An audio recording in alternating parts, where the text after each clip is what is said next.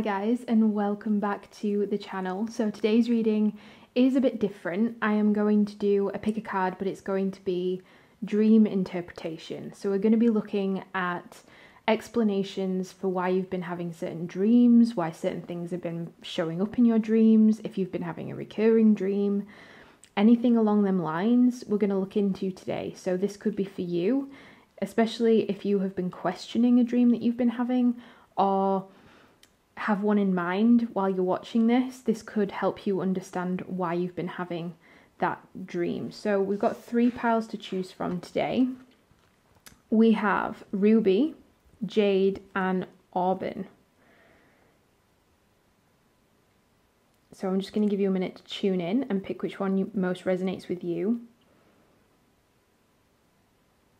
And as always, if you need more time, you can just pause the video and we're going to start with Ruby. So, if you chose Ruby, why have you been having this particular dream? So, this is kind of a fun one, I think, because I feel like there's something romantic about this particular dream you've been having, or something heavily linked to your emotions, but I do feel like it's your emotions towards another person. Um, it may not be romantic in nature, it may just be, you know, you care for someone or you have, you know, you have a strong connection with someone, but I do feel like there's something about that that is showing up in your dreams. So, you have the High Priestess, first of all, and you have the Ace of Cups. This screams to me secret feelings. this is like screaming suppressed feelings. So, with this High Priestess, particularly in this deck, the High Priestess is someone who's quite subtle, someone who doesn't give a lot away, someone who's quite mysterious, and like I said, in this deck, cloaked. So I feel like this is something to do with um, cloaked feelings, cloaked emotions. You may be purposefully holding back how you're feeling about a person. And it's almost as if now it's overflowing. And because it's overflowing, it's showing up in your dreams. Emotions often determine our dreams. You know, how we're feeling, what we're thinking about. Obviously, that's going to have an effect on our dreams at least some of the time. And I feel like for you, it's almost like you. There's just, I feel like there's someone that you really admire or like, love. You know, someone who you can't stop thinking about, or someone that really stirs up your emotions. I think in a good way for the most part, but obviously, if someone's having that impact on you, that can still be quite uncomfortable even if it's good emotions. So you also got trapped here. Now I want to I want to show you what I'm seeing because obviously in this card there's a tiger. it was giving me that impression of you know when you're really hungry and you see someone eating something that looks amazing and all you want to do is eat what they're eating. It it's giving me that kind of impression but it's a metaphor. So it's more so that you might have a lot of passion for someone, or there's someone that you really like to talk to, or get to know more, or spend time with, but for whatever reason you can't, or you feel like you can't because of this trapped energy. You know, there's this feeling of I want to get to that, but I can't. It's on the other side of this this this gate, this prison, this whatever it is, this door that's locked it's unavailable. There's something that's unavailable to you, or you feel like it's unavailable to you, but that doesn't stop you from wanting it. You know, I'm looking at this, these tiger, this tiger's eyes are like red, and I don't think that. Well, they're more orangey than red. I, and I don't mean that in an evil way. It's more coming across as like the passion. You know, it's almost like I just want that food. You know, I just want that over there because it looks really good to me. And it's almost like wanting what you can't have in some respects, which may make it more desirable to you. So there could be many reasons for that. You may feel like there's too much of a distance between you and this person. You may feel like this person's unavailable because they're in a relationship. You may be in a relationship that that there's a blockage somewhere. You may just feel like this person wouldn't have interest in you. You may feel like for whatever reason you just can't get to them. And that's why it's showing up in your dreams because it's almost like it's on your mind so much, or there's a lot of desire there, and there's a lot of intrigue and curiosity. Curiosity kills the cat, right? but it feels like there's this sense of I just want to get to that. I just want to have that. And I also think it's a bit of temptation because, again, if we're going to use food as the metaphor, it's almost like, you know, when you're trying to be healthy, but then, you know, I don't know, someone makes a cake or something and it smells really good, and you're like, oh, I could just eat a piece of that cake. But in your mind, you're kind of going, I shouldn't because I'm trying to be really good right now. it feels like that. But again, a metaphor more so for relationships than food. If this relates to you on a food level, then that that might also be true and might also explain why it's coming up so much, but I think it's more of a metaphor. You know, I want that over there, but I just don't think I should have it or I don't think that would be a good idea or I feel like I can't have it. It's almost like blocking yourself off. You know, you're you're limiting yourself or you're you're stopping yourself from going after what it is that you want because some part of you, like your mind, is telling you it's not a good idea. So your heart could be saying, I really want this, go for it. And your head is saying, This is stupid, don't do this.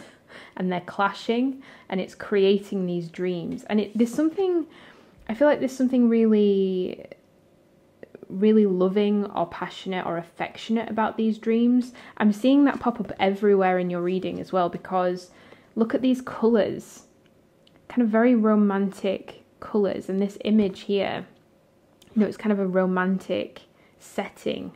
So I feel like there, is something romantic about the dreams that you're having, um, but it's almost like it's you may feel like it's making it harder for you because it's almost like your dreams are playing out scenarios that you don't feel like would take place in reality. Um, and with this heart mind union here, again, there's something quite romantic about the image. You know, it's like sunsets and the ocean. And I feel like, you know, in some cases it could be engagements. You know, I'm just thinking ruby and jewels and jewelry. It could be, you know, kind of having a, a certain kind of life with someone that you're not actually with. So there's that fantasy element to it as well. So there is a block somewhere and it's almost like it could feel like when you've had dreams like that that when you wake up it's almost like you're you crash back down into reality and the blockages are there again. And whatever's taken place in your dream, in this like romantic, fantasy driven dream, hasn't actually happened in reality. And, and so it's playing with your emotions a little bit. But it's because those emotions are already there, right? That these dreams are happening in the first place. So I do feel like this is a lot to do with secret feelings, suppressed emotions. I think if you're wanting to stop these dreams, then you need to you need an outlet for these emotions. You need to get them off your chest. So you, so it it might mean telling the person that you're having these dreams about. But if you if that doesn't feel like the right thing to do given the circumstances, then it might just be a case of writing them down talking to a friend or a family member, you know, just giving yourself an outlet for them might prevent the dreams or stop the dreams from happening because they won't all be stored within you. But I do feel like it, it's almost like your feelings are in the closet, you know, your feelings are, tra- are trapped. Your feelings are trapped You know, your feelings are stuck. They're they're stuck within you because you may feel like there's nowhere to place those feelings. There's nowhere for them to go. There's no one you can share that with or the person you want to share that with you can't for whatever reason. But I feel like you may have had these feelings for a long time. It may be built up, built up energy, and it's overflowing, and that's why it's infiltrating your sleep because it's your most vulnerable time and it's all coming out when you're at your most vulnerable. But it's almost like this cycle now because if it's not, it, it's actually intensifying the emotion because you're having the dreams, you know, you're having the feelings in the daytime and, you know, they come and go.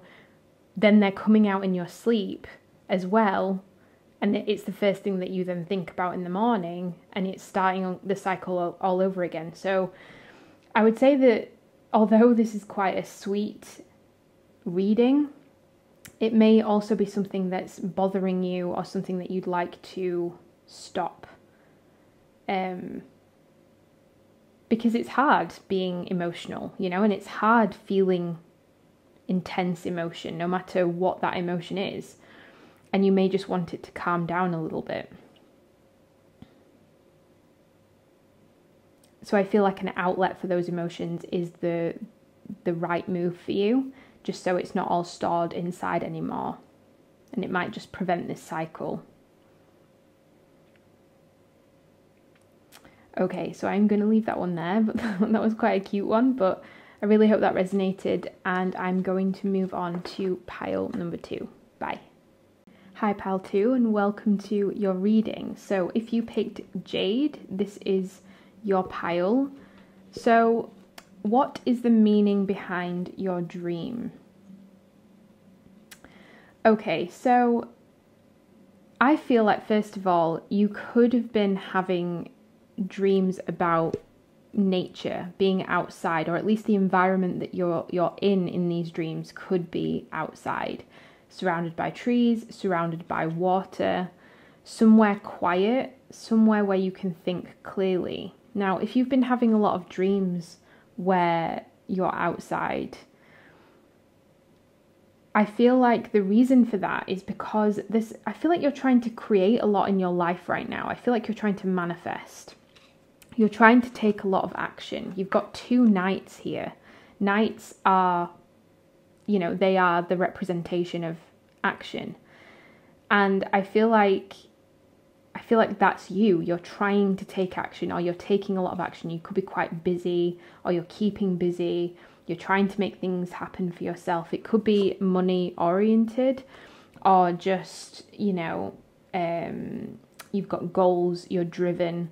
There's things that you're trying to achieve and you're trying to make happen now. So, if that's the case, I feel like the reason why you're having dreams about being outside in nature, where it's quiet, quiet, you know, areas that you would expect to experience a lot of peace and quiet and and not a lot of noise and not be distracted by everything else in the world, like a forest, right? Like a lakeside or the beach, somewhere where you can feel calm the reason why you're having dreams like that is because A, that's what you need, and B, they're trying to slow you down. I feel like a lot of you are trying to move too fast. You're trying to make things happen before it's the right time. So you're being blocked, and that could be stirring up some frustration. But it could also be causing you some confusion, you know, because if it's like, well, I'm, I'm trying to take action here, but I don't feel like I'm getting anywhere. It's almost like running on a treadmill. You know, I'm putting in all this effort, but I'm not actually moving anywhere. And I feel like there's a timing issue with what you're trying to create, which I know is the most annoying answer, but there is. There's a timing issue. You're trying to make something happen before it's ready, before it's meant for you. And so you're being slowed down, or you're being encouraged at least to slow down not only that, but obviously you're being encouraged to spend some time outdoors as well and outside, particularly if you found yourself to be cooped up a lot lately. You're being encouraged to go outside, take a walk, You know, if you live near a beach, go to the beach. Somewhere that you feel at peace, somewhere that you feel you can receive a lot of quiet.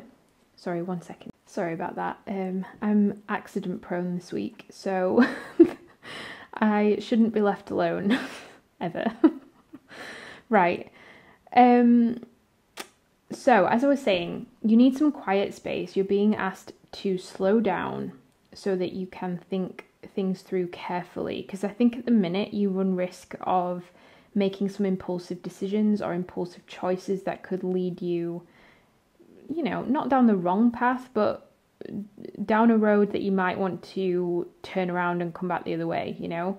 Um, basically, make decisions where you end up regretting those decisions, or even if you don't regret them, you just end up back where you started. So, in order to avoid that, I think that you're being asked to slow down now and give something time to become clear in your head and in your mind, but also give something time to develop, to grow. Um, I think you're trying to run before you can walk right now. And the thing is, is that even though you've got two knights here that are action oriented, they are the slowest knights in tarot. You know, the Knight of Pentacles is very much a planner before, you know, he takes action. He's not the Knight of Swords. The Knight of Swords runs in, jumps, very impulsive, thinks about the consequences later. The Knight of Pentacles really sits down, plans things out carefully, takes things step by step, doesn't rush anything, and he's often known as the most successful knight in tarot because of that.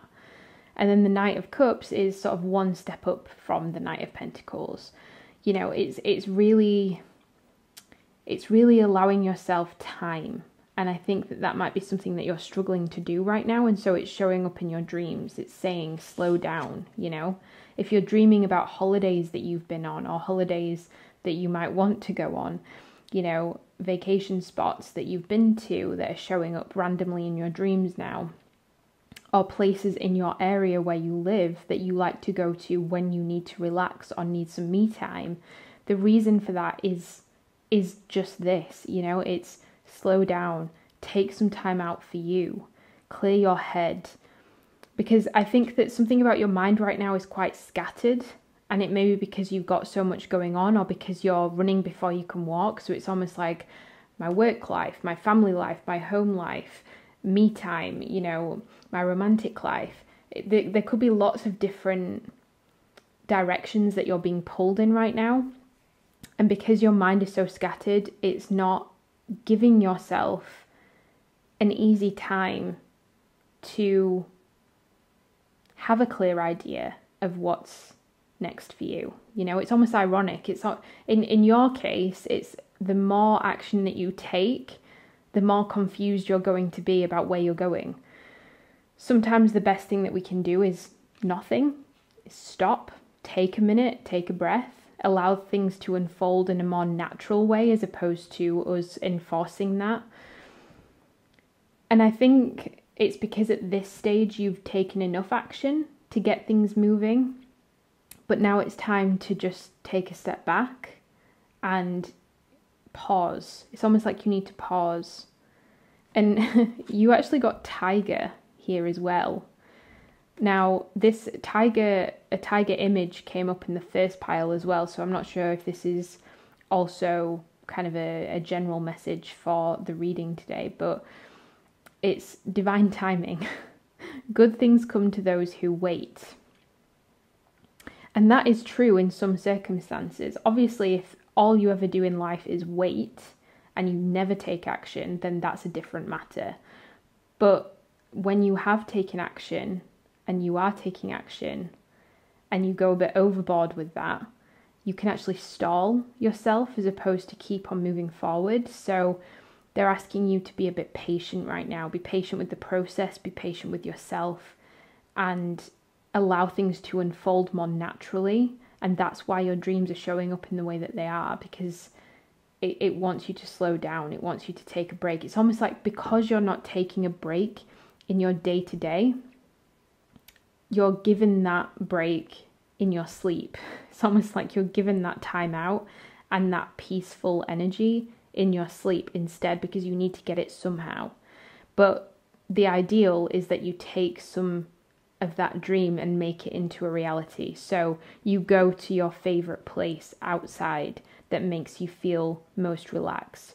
You go to that forest, you go to that wood, you go to that lake, you go to that reservoir, you go to that beach, whatever it is for you. You go to that place that is outside to help you calm down, to help you relax, to help you find some peace of mind and to to be comfortable with the slow pace of things because that will naturally happen in life at some point and and it's about being comfortable with that and knowing that there's purpose to it and that it is happening for a reason and there's still something to be gained within those times. Okay, so I'm going to leave that one there, but I really hope that was helpful. And I am going to move on to the final pile. Bye. Hi guys and welcome to pile 3. So this is for those of you that chose Auburn. So if you chose Auburn, this is your reading. Now, I want to start out by saying that this reading, despite the images being very similar, these readings seem to be opposite in their messages today. I told Jade Pile that they need to slow down and, you know, hold off taking action right now, that divine timing is at play. Auburn, it feels very much the opposite, that you need to take action. Now, I'm going to get more specific than that, obviously, but what was interesting to me was that it's almost like going from summer to autumn, you know? It's that change of seasons that I think comes into this message today. It's almost like you're in two, two piles are in two different seasons of their lives right now, so they need two different approaches. So you got the three of wands with the king of wands, so a lot of fire energy. And makes sense, that's a lot to do with action and taking action. Now, I feel like it's a bit of a strange one, this, because I feel like in your day to day life, I feel like you've been holding your tongue, that you've not been saying things that you have been thinking, that you've been feeling. You've not been speaking up for yourself, or you've not been speaking up when things have been bothering you or things have been getting to you. So you've been holding back. You've been very observant. That's what I'm getting. You've been very observant. You know, you've been sat there just kind of watching people do what they're doing, say what they're saying, but you haven't really been responding or reacting. You've just been taking it in and taking your time. And I see it again with this with this cat energy. You can see this cat and the cat's kind of almost squinting, but it's like it's it's almost it, it's a very wise energy i feel. Almost like i'm going to absorb what they're saying i'm going to absorb what i'm seeing here and i'm going to take my time before i respond which is a very wise approach to take. And not everyone does that. Most of us just react in the moment and then regret it later right? But if you can observe process and then respond it's a very wise approach. However, I feel like you might be taking too long to respond, that you're taking too long to say what you think and say how you feel. So there's a lot of waiting here, a lot of waiting, just watching and waiting, watching and waiting. And I feel like this has a lot to do with well, I don't know. This this can go in multiple ways, but I feel like it's likely to do with your relationships in your life. Um, but it could be goals and ambitions that you have as well. But there's there's disappointment here.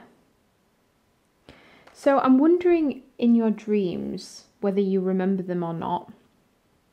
I don't know why I said that in yours. I've not said that to anyone else, but I'm wondering in your dreams if you're speaking up in your dreams and the response that you're getting from other people isn't very nice or isn't what you would want or what you would expect. And because of your dreams showing you that in your reality you're not speaking up, you're not saying what you think. Because if it, it's almost like you're using your dreams as a bit of a compass. It's like, well, in my dream, when I said this to this person, it didn't go down very well, and so I'm not going to do that in reality because I feel like it's a bit of a hint not to.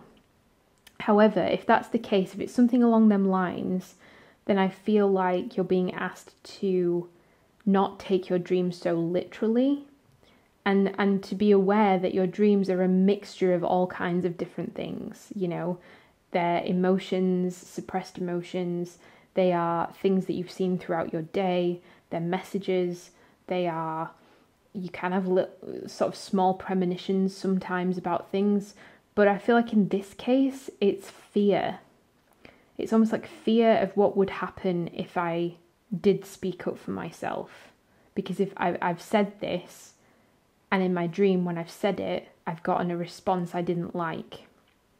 So I'm not going to do it. So it's almost like showing you what your fear is as opposed to what would actually happen.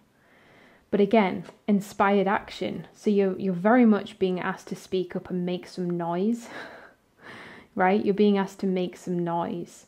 And I think it would be quite surprising to some people around you because I think you've been very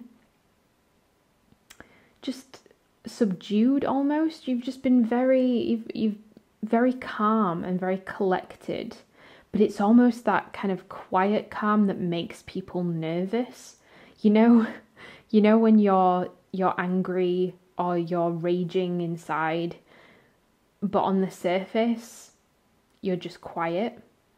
And that can make people feel way more uncomfortable than shouting and screaming and yelling, you know? I feel like that's you. And I'm not saying that you're necessarily angry, as opposed, you know, disappointed might be more your energy, but it is it's that it's that phrase, isn't it, that we all hate. I'm not angry, I'm just disappointed. You know, that phrase kills us. So it's that's the energy that I think you've been in. You haven't been responding to things in the way that I think people expected you to and it's made it's put them on edge.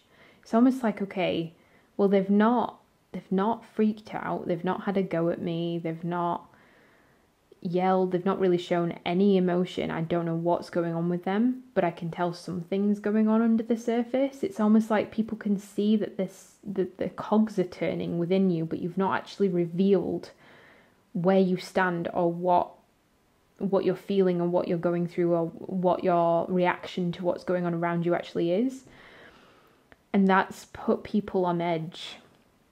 But I feel like you're being asked to now speak up, say what you think. And the the image I was getting was almost something out of a film or a TV show. You know those moments where someone comes home and they walk in their door and all the lights are off in their house and they turn the lights on and someone sat in their living room with in this case cup of tea.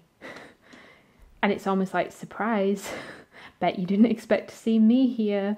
It, it's that kind of message of i feel like when you do speak up it will be a surprise to whoever you need to speak up to. Whatever you need to say will be a surprise to the recipient. Um, and it will be unexpected, I think, because whoever it is that you need to speak up to, you've gone a very long time not saying anything about whatever this is. And it could be a number of things. I do think it's something that you're disappointed about or something that you, you know, took your time to really think about before you spoke up about. So I feel like your dreams, in your dreams, you could be having almost like a play by play of these conversations, but it's almost putting you off from wanting to take action. I think there's something as well about perhaps feeling like you're the one with the power if you don't speak up because people could be waiting for you to say something. And I don't know what this is about. I don't. I just feel like people are waiting on your response. And so I feel like because you know that, you've been holding your tongue, you haven't been saying anything, and it's almost like that keeping your power. but you are very much being encouraged to make some noise now and to speak up and to say what it is that you need to say that you have been waiting to say. I'm going to clarify this one as well because it's really interesting and it's really, really different, and I don't know what it's about. But um, I can tell that you've been really observant and you have been biding your time. It's quite strategic. I feel like you might be being quite strategic about whatever this is. You're not rushing in, you've not been impulsive, you've been waiting. Waiting for your moment, I think.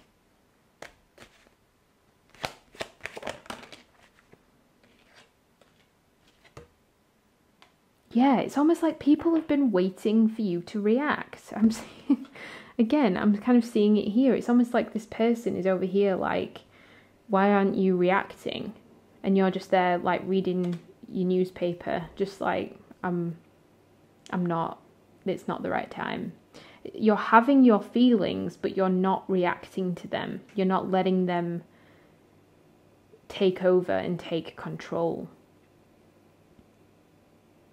it's almost like I, I almost kind of get like there's this almost like this foolish behavior that someone's been playing in your life or showing you in your life. It's almost like they've been performing in a way, but in a really silly way. Like a, I'm just going to do things to try and get this person to react, but it's not been working. And so it's almost like this person's now on pins because it's like, I feel like they're going to blow at some point and I don't know when that's going to be. Yeah, because the cat, again, I don't know why cats are significant here.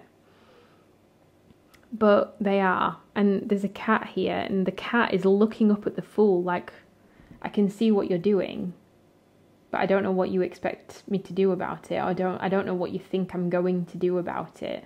I'm just going to watch you be a fool. I'm just going to watch you you know dig your own hole. You know, it feels a bit like that.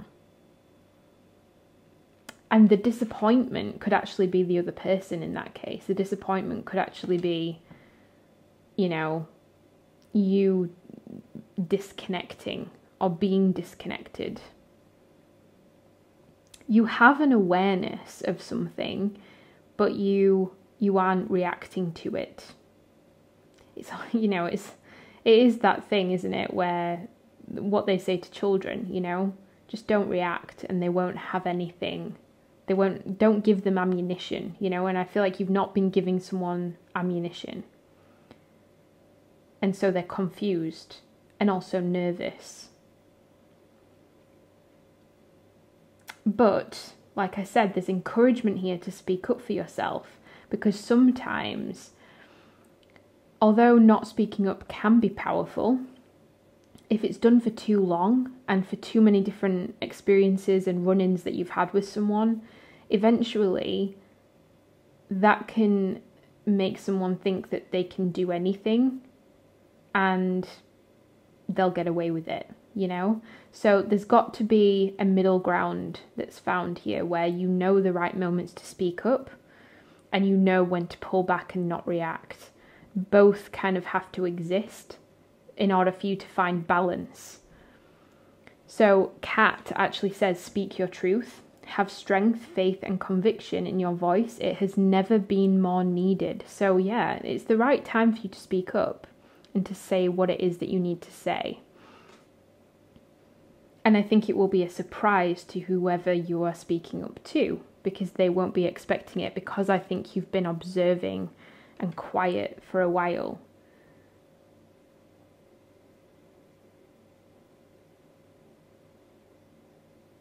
So when it comes to cat,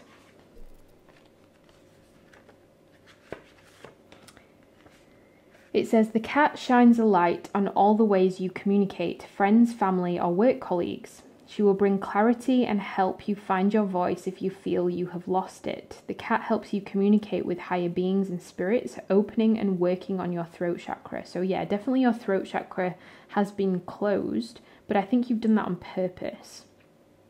The cat brings a balanced perspective, courage, independence, and strength. She's all things mystical and magical, an ancient protector of many earthly civilizations, especially during ancient Egyptian times where she was worshipped through Bast- Bastet, the goddess of protection. You are being asked to bring the spirit animal's energy into your life, refresh and energize your body with the sun's energy. So, yeah, I feel like there is that outside theme again. So, clearly, collectively, too much time inside, need to be outside, perhaps, you know, it could be one of them situations where you think, right, I'm going to go for a walk, clear my head, think about what I'm going to say, and then I'm going to go back and have this conversation with, I don't know, my mum, my dad, my partner, my friend, whoever it is, my work colleague. I just, I'm going to go for that walk, clear my head. Being outside will help, and then I'm going to have that conversation, and I'm going to be calm and I'm going to be clear and I'm going to make my point without it becoming dramatic. So I feel like that's going to be the best way you can approach this, but I do feel like something needs to be dealt with. I feel like something needs to be said. Something's gone on too long, and you're the one that can put a stop to it by speaking up. Okay, so I'm going to leave that there, but I really hope that was helpful. It was really nice talking to you all again, and I will speak to you again soon. Bye.